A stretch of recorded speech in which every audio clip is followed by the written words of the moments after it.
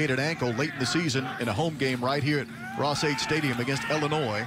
Oh, about a little hook and ladder. The catch was made by Terry Wright, who then found his teammate sprinting. Freshman from Villa Park, California is into the game, and he just delivers a ball on target. Nice throw and catch for the safety and opportunity to jump that ball. So uh, he was lucky that didn't turn into an interception. J.D. Dellinger will attempt a 40-yard field goal for the Boilermakers, and it is good. So the Purdue offense gets on the scoreboard for the first time to motion. Throwback to the left side, and that's going to put Purdue in the defense's territory. And the Boilermakers, they love the speed of that young man right there, Terry Wright. My broadcast partner, Stanley Jackson, a quarterback for the Ohio State Buckeyes back in the day. Yeah, so trust so he me. should I, know a little bit about quarterbacking. Oh, and I know about overstriding and sailing balls. Trust me. Spencer drive going the wrong direction because of that chop block penalty. Plummer tries to set up the screen and does. Horvath with a catch, fights off one defender and Derek Barnes, and Horvath is in the red zone all the way down to the 17-yard line. I got to tell you, I like this kid. I like him. I, look, I know he's a walk-on, but he's making plays. So great pressure, uh, presence right there by Plummer, holding it to the last minute, and then Horvath makes a catch. Nice stiff arm, gets into space, picks up about 12 yards. Plummer on a three-step drop to the corner of the end zone, has his man, and that is a Purdue touchdown.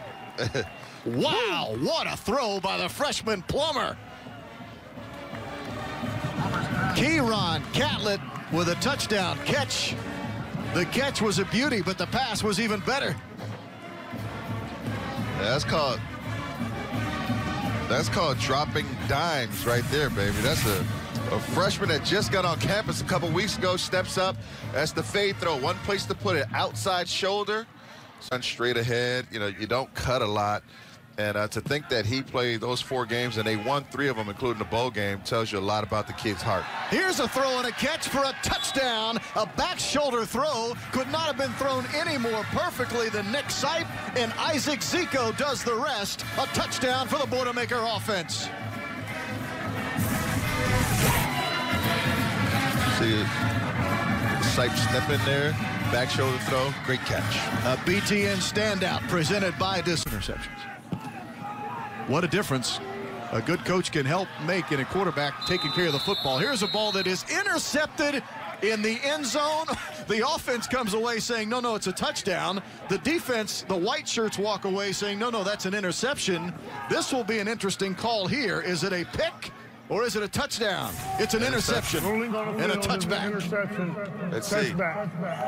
High points the ball, puts it away on the ground. Interception. Dedrick Mackey on the interception. Yeah, with uh, the ball does start in plus territory here in the second half. Purdue at the plus 35.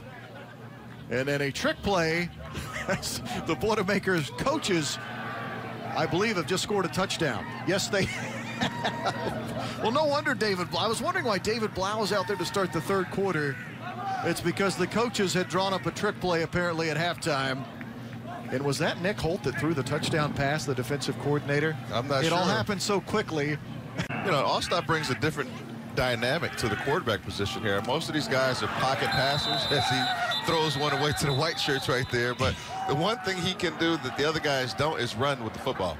Dedrick Mackey stepped right in front of that pass, just as my partner was trying to talk up the young man wearing number five. And they blew the play dead. That should have been a pick six, I thought, certainly. Mackey stepped right in front of this pass and was unabated to the goal line. Oh, yeah. Yeah, Absolutely. It, it don't need to let, have him run all the way because he's got to go back and cover. but but just a